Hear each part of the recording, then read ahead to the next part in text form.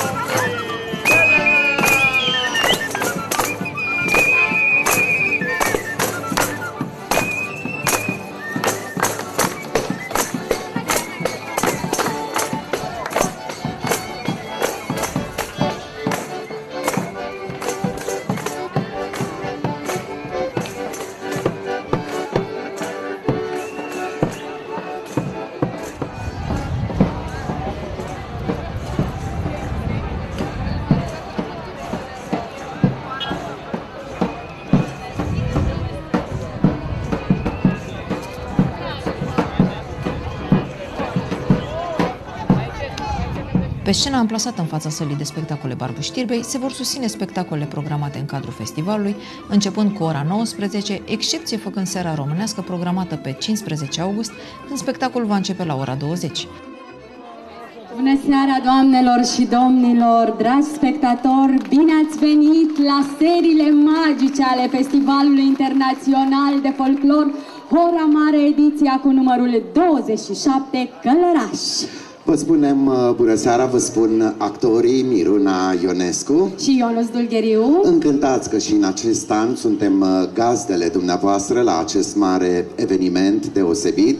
Astăzi când uh, călărașul iată îmbracă haina de sărbătoare. Spuneam că debutează cea de-a 27 ediție a acestui minunat festival.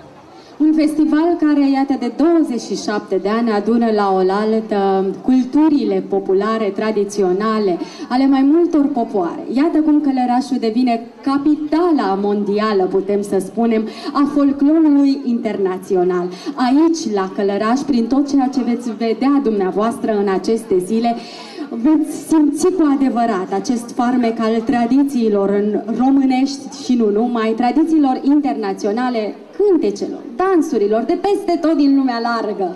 Anul trecut am avut uh, alte țări din uh, toată această lume, anul acesta uh, vin alți oaspeți și suntem pregătiți să-i primim ca la noi acasă, așa cum știm noi românii cu brațele deschise. Vă spunem doar că evenimentul se desfășoară sub uh, egida Consiliului Internațional de Organizare a Festivalurilor Folclorice și Artă Tradițională, partener al UNESCO.